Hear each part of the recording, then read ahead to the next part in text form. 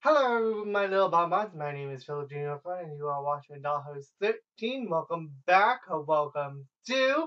We lost two subscribers, but gained two back. So welcome to all my little bonbons. And if you want to become a little bonbon, why not subscribe? Tell me what you liked about this video and what you gonna support me. Come on, support me. Um, today I'm gonna be talking about, as you can probably see from the title, how to avoid people because human race is disgusting and we are and we special people are the unicorns.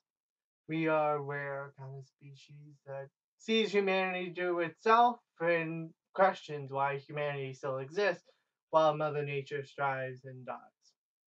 Whatever. But my thing is, I don't like people, and people don't like me, so I try to avoid them as much as I can. So I try, so here's some tips to try to avoid them. Tip number one, go at nighttime. Everything's better at nighttime. It's more mysterious and scarier and everything all between. So why not go at nighttime? There's less people. You may get robbed, but who cares? There's less people around. So you can go home and walk and not deal with a whole crowd of little teenagers I like to swear because, you know, they're just gonna be in this generation. And if you want to see my new uh, my other video about what's wrong with this generation, you can watch it. But in all serious note, teenagers. Of course, I'm 47, so. But another one is try to use your ninja skills that you never knew that you had and backflip out of a whole conversation that you never wanted. So if someone comes up to you, you just go poof and you disappear and no one questions anything and where you got that smoke from.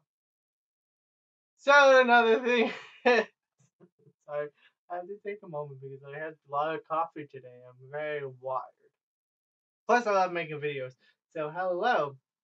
I'm trying to also remember what I actually wrote. Maybe one day I actually actually write down my little notes and actually do that, but no, I'm not very professional. I don't do professional things.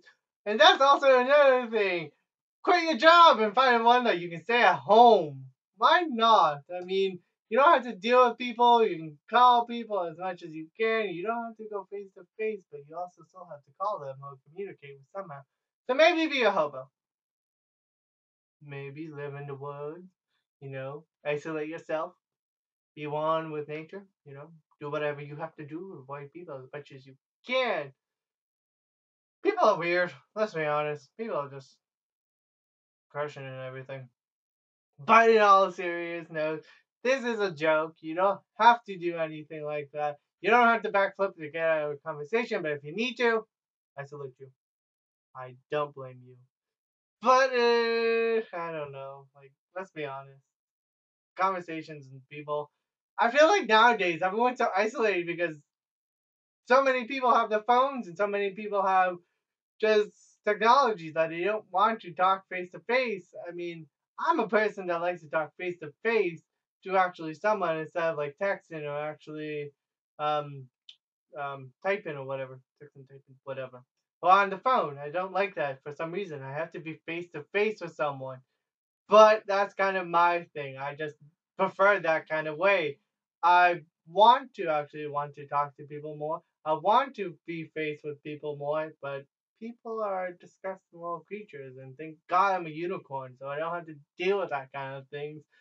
But anyways, I have to say, please don't forget to subscribe to my channel for videos like this of how to avoid people in any cost, or um, support yourself and keep trying, or any other videos. If you have any suggestions, I'm a very opinionated little bitch, and you can comment them right down, here. I just insulted myself like it was a casual kind of thing.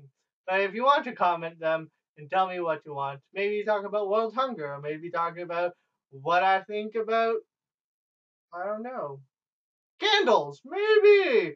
But don't forget to comment what you want to make me make me make a video. And don't forget to like to show your support.